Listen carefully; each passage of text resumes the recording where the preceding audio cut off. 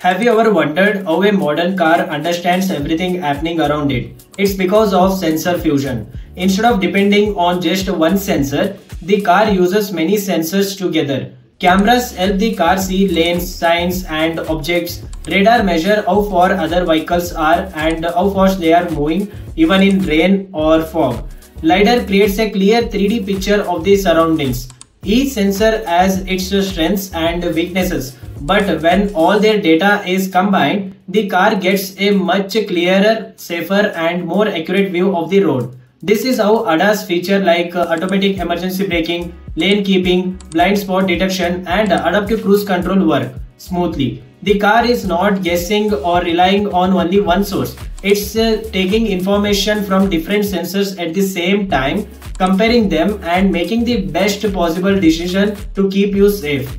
Well, if you need detailed video on this, you can go and watch on my YouTube channel. I will add link in my bio or you can comment below. I will send you the link. Well, that's it.